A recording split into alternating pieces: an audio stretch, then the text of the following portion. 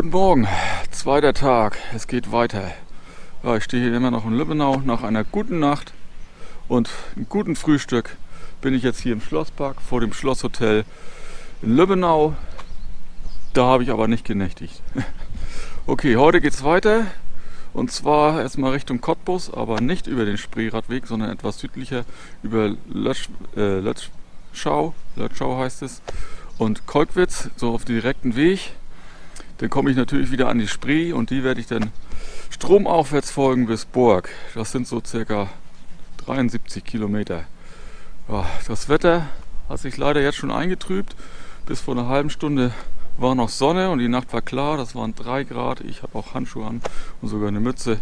Das ist echt kalt heute Morgen. Aber der Regen soll kommen. Aber ich könnte vielleicht Glück haben, dass ich noch trocken da ankomme. Mal sehen. Ja, ich hoffe, es wird weiterhin so schön bleiben, auch von der Gegend her. Das war ja toll gestern und gestern Abend war ich auch noch mal hier ein bisschen spazieren. Das sah ja auch noch beleuchtet, auch noch mal toll aus hier. Also, dann wünsche ich viel Spaß dabei bei den kommenden Bildern.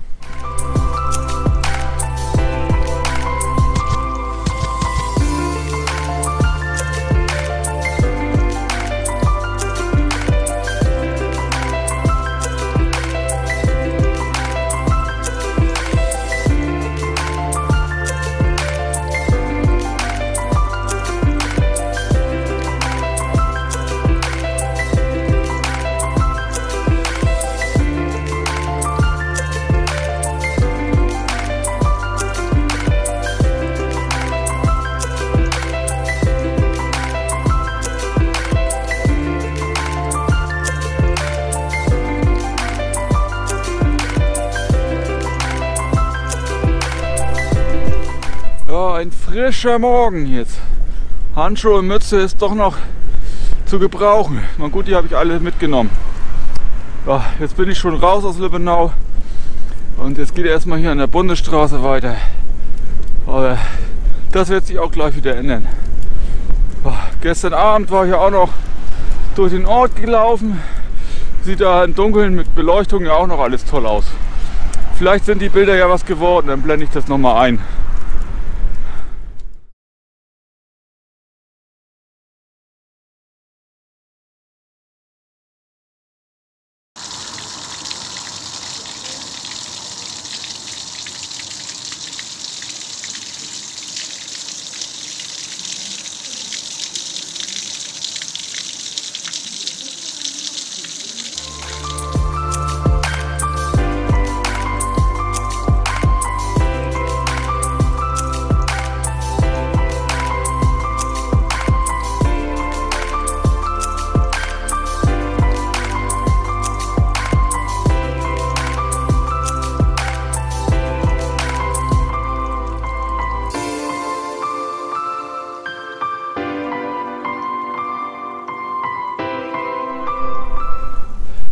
Irgendwie gibt es ja immer Radrouten hier, wenn man sie so rumfährt. Ich befinde mich jetzt gerade auf der Radroute Historische Stadtkerne. Oh, dann wird wohl Wettschau auch einen haben. Mal sehen.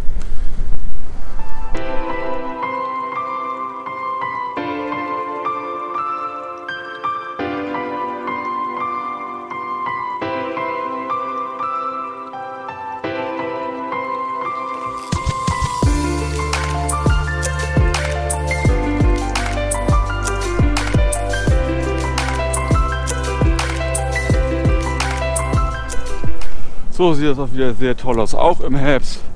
Das macht echt Spaß wieder so. Auch wenn die Sonne jetzt nicht so rauskommt, sieht das immer noch toll aus alles.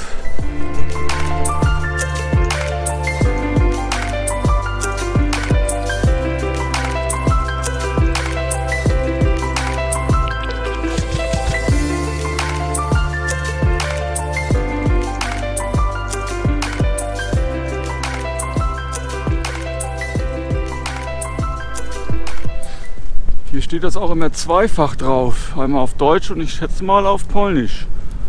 Weil Polen ist ja auch gar nicht mehr so weit weg.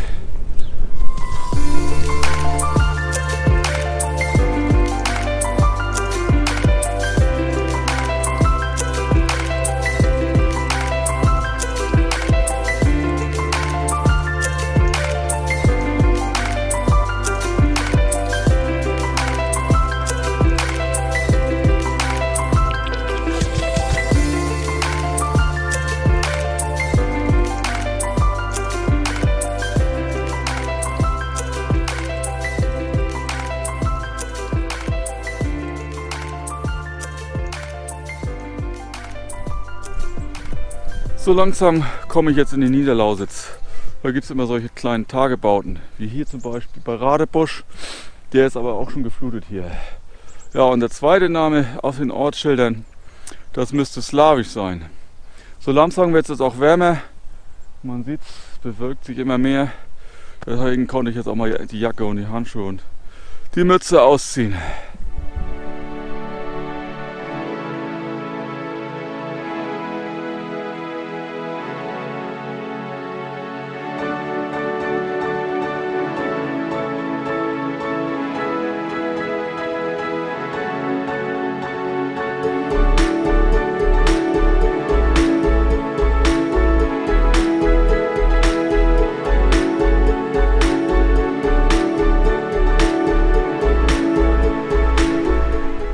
Schon wieder die nächste Sehenswürdigkeit. Die Slavenburg bei Radebusch. Ah. Aber leider geschlossen, kann man sich gerade nicht angucken.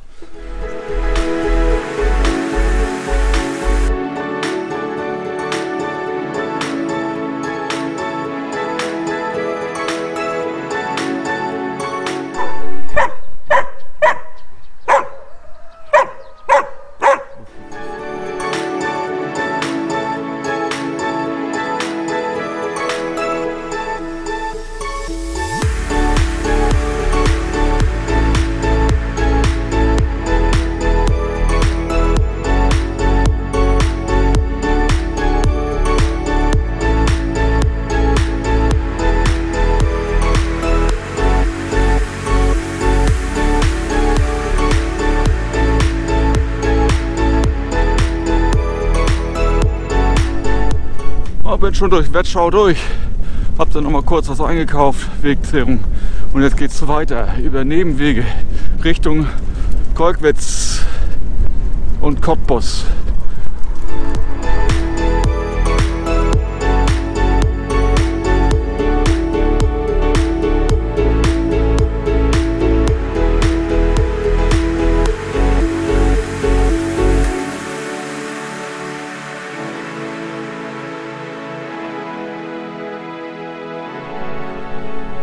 Meine Strecke führt mich jetzt so ein bisschen über Nebenwege echt schön durch etliche Orte, so eine kleinen.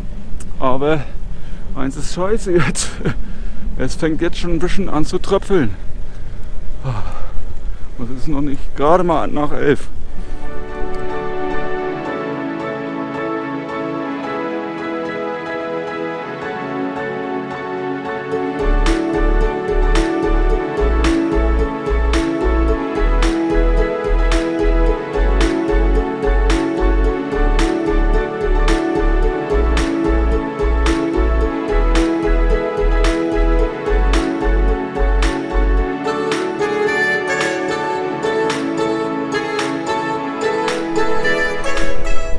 Wieder eine schöne Strecke.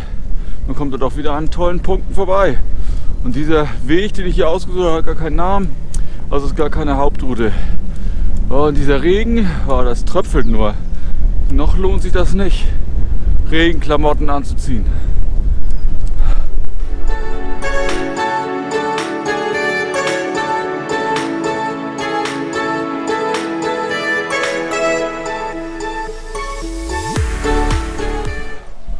Kaum gesagt, da fängt es ordentlich an.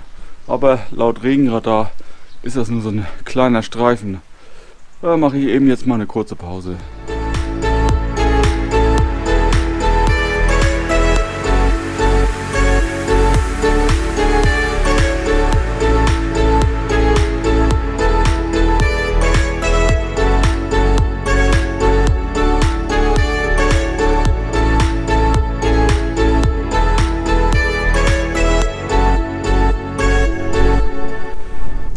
Jetzt habe ich schon 35 Kilometer geschafft, also fast die Hälfte.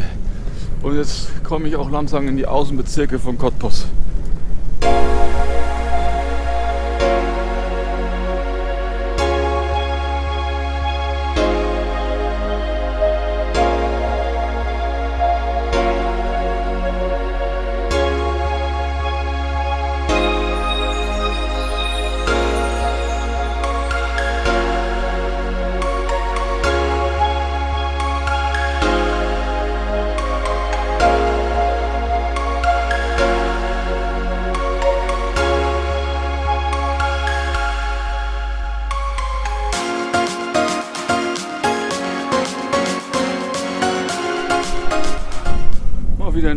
Weg gefunden rein in die Stadt.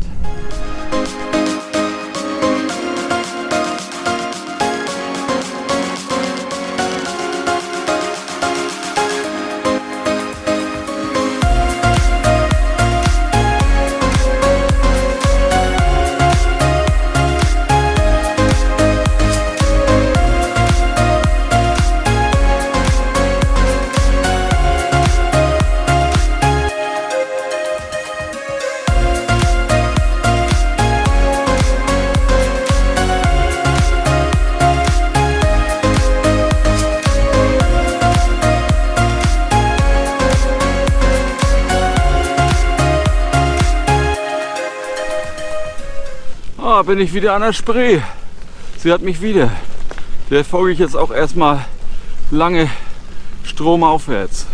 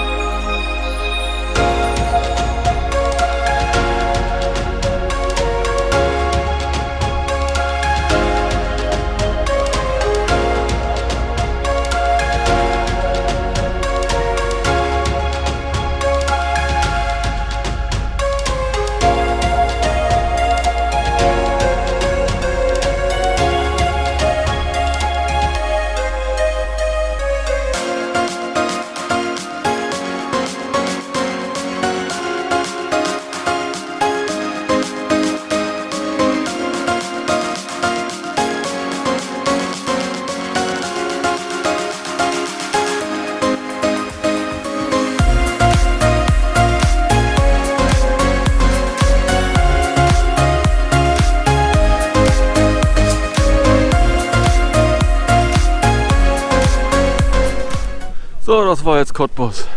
Jetzt geht es hier immer an der Spree hinaus. Richtung Burg. Immer an der Spree entlang. Ja, in der Altstadt, die musste ich ja auch noch mal mitnehmen. Da war ja doch was los. Aber dann konnte ich ja noch eine Trünger Bratwurst schön abgreifen. Die tat auch ganz gut. So, jetzt geht es hier immer schön weiter. Das ist ein schöner Weg hier.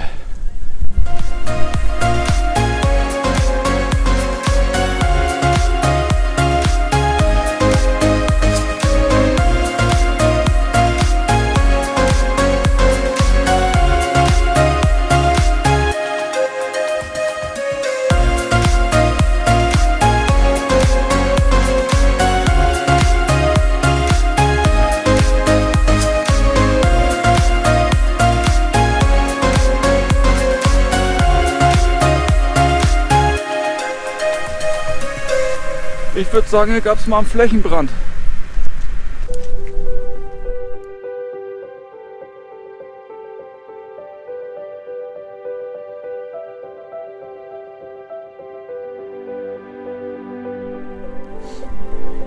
Also ich würde sagen, klare 1 mit Sternchen, dieser Radweg hier.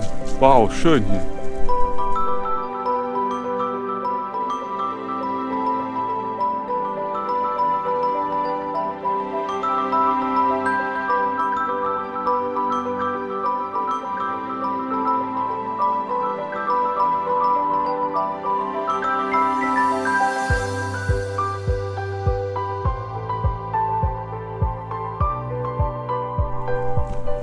Ich habe mich jetzt nochmal entschlossen, einen kleinen Umweg zu fahren, um nochmal was anzuschauen, was ganz Besonderes. Das werdet ihr gleich sehen.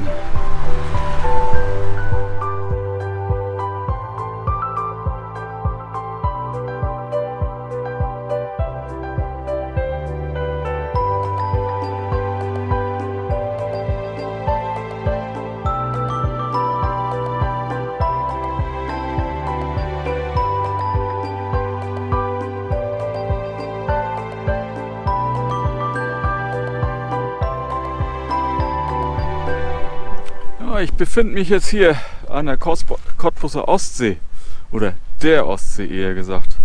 Ja, das ist ein alter Tagebau, Cottbus Nord.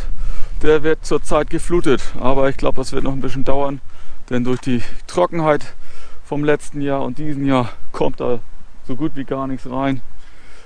Also das wird noch ein bisschen dauern. Aber dann wird das hier bestimmt ein schönes Erholungsgebiet werden. Genauso wie in anderen Stellen schon. Ja, ich bin jetzt aber nur einen Abstecher gefahren von der Spree.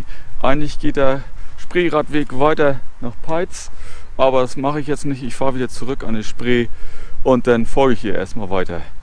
Ja, ein bisschen fängt das jetzt an zu nieseln, aber ich hoffe, das ist noch nicht der Hauptregen.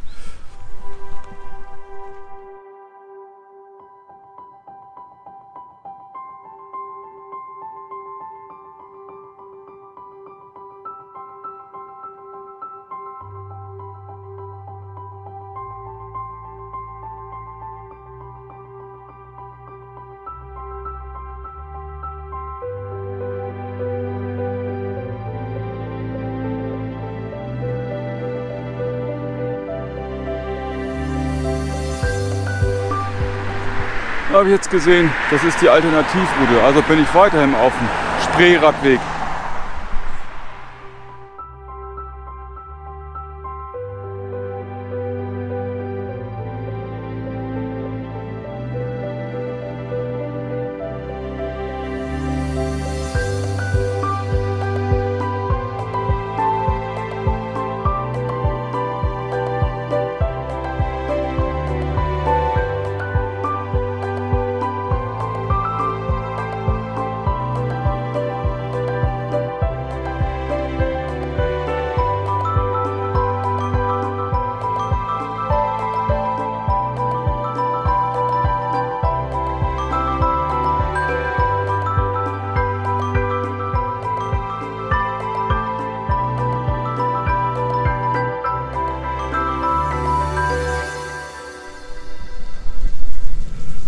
Ich kann mich gar nicht einkriegen hier. Das ist ja so ein toller Radweg. Wow, bin echt begeistert.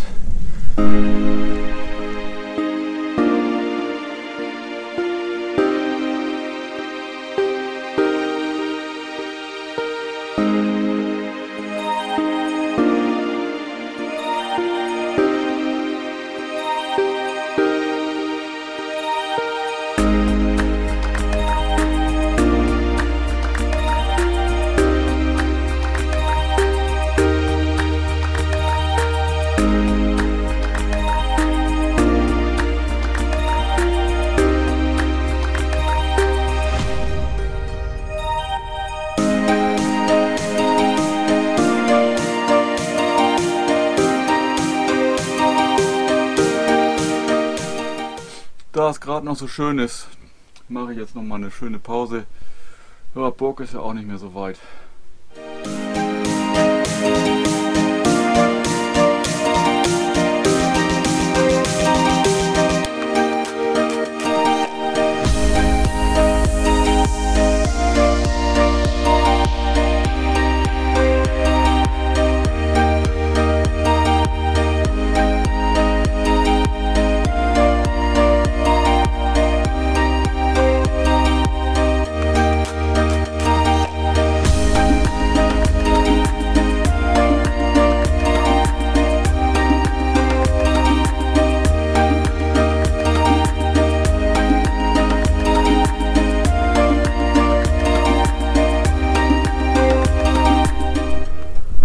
So langsam wird es grauer. Ja, das ist ja auch ein Ex-Hurricane. Aber sehr abgeschwächt inzwischen. Rollt auf mich zu und bringt ordentlich Regen. Ich hoffe ja über Nacht, dass das morgen früh wieder aufhört. Ja, viele Radfahrer sind hier auch gar nicht unterwegs. Ist auch wieder ein bisschen frischer geworden. Ah, aber ich bin ja auch nun bald da. In Burg. Nicht mehr viele Kilometer.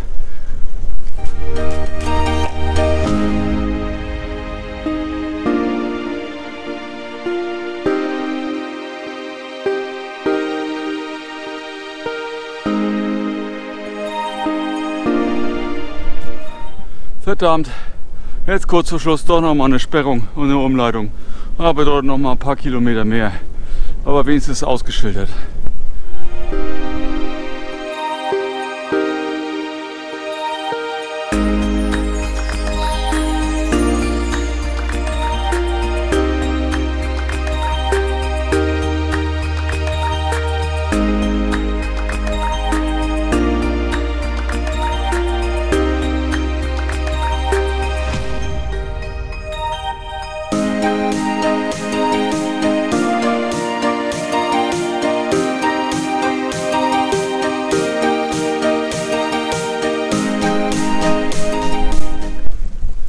Ah, wieder drauf. Weg wieder gefunden.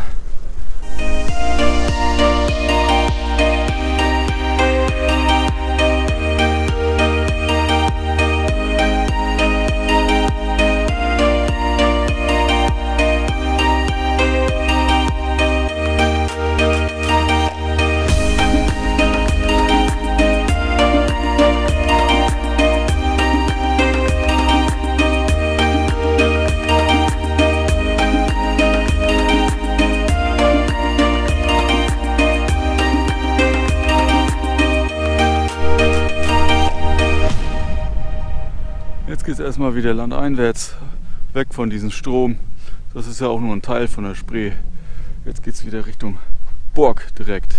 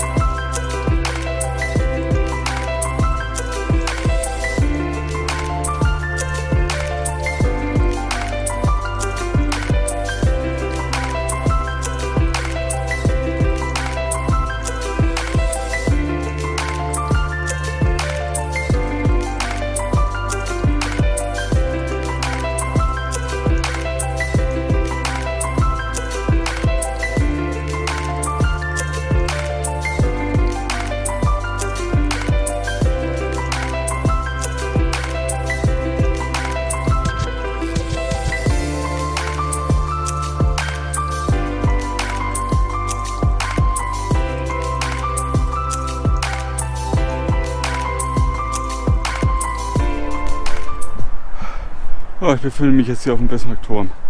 Bei Burg. Ja, was für ein Bauwerk. Eigentlich sieht man gar nicht viel, nur Bäume. Aber da hinten Kirchturm, das wird wohl Burg sein. Und da ganz hinten wird schon dunkel und der Regen. Ich hoffe, ich komme noch trocken an.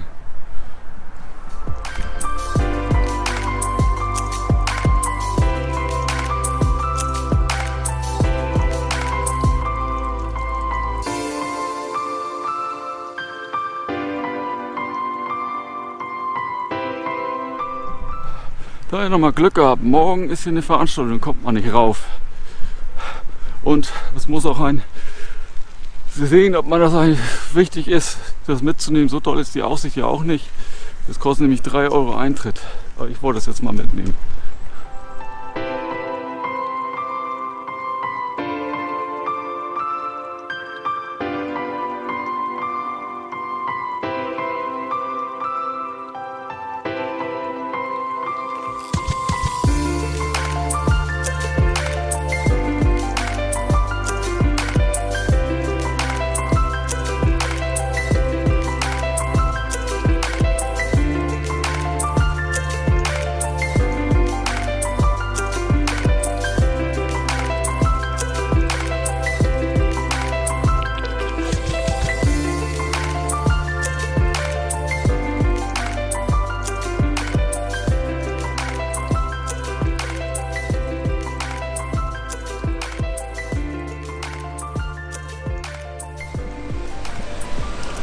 Ich stehe jetzt hier am Kahnhafen von Burg. Ja, hier ist die Tour erstmal für heute zu Ende. Wie ist es für euch? Denn ich habe noch 8 Kilometer bis, zum, bis zu meiner Unterkunft. Ja, war echt ein toller Tag. Super, dass das Wetter noch so gehalten hat. Über Nacht soll es ja leider jetzt auch nicht regnen. Vielleicht auch noch morgen.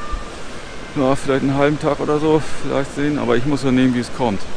Ja, war echt eine tolle Strecke. Sind aber auch jetzt über 80 Kilometer geworden, wie immer. Da war ja auch noch eine Umleitung dabei. Aber wie immer ist da mehr rausgekommen.